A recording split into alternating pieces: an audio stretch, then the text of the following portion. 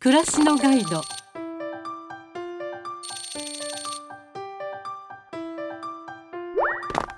乳幼児検診。子育ての相談。予防接種。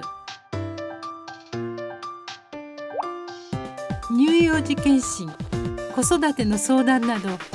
日本では子どもを対象としたさまざまなサービスがあり無料で受けられるものもあります。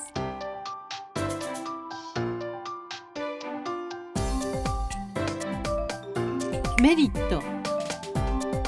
子どもが元気に育っていることを確認できます。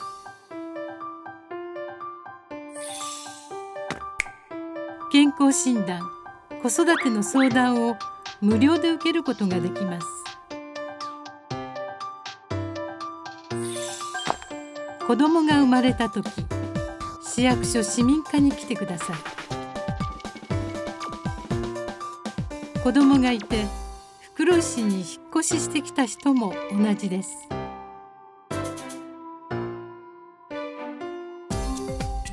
市民課で手続きした後総合健康センター2階にある袋井保健センターで書類を受け取ります。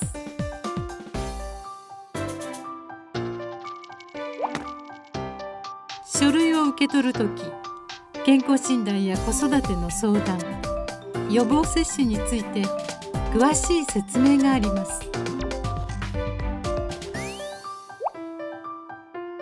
袋井保健センターにはポルトガル語の通訳がいます。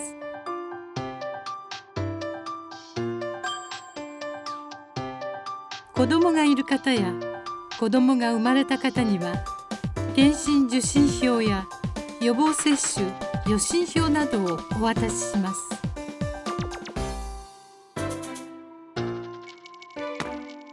子どもは年齢に応じた健康診断や予防接種を受けられます。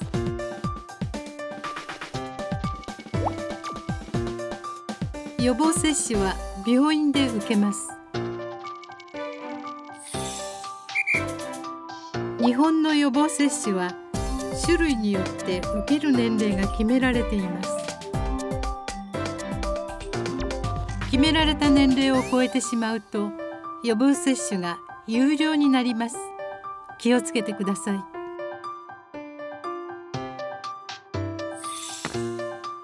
その他母乳や離乳食など赤ちゃんの育児相談も受けられます。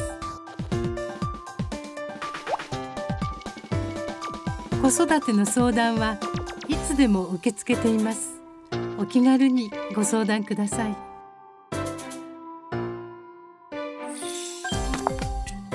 袋井市から他の市へ引っ越しした時は他の市では袋井市の書類は使えません引っ越したところの市役所などで必要な書類をもらってください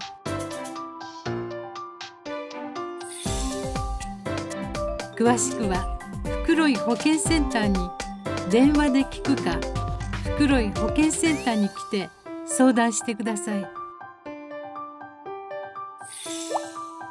大切なポイント。子どもたちの検診予防接種を行っています。袋井市では市役所窓口と保健センター2カ所に行きます。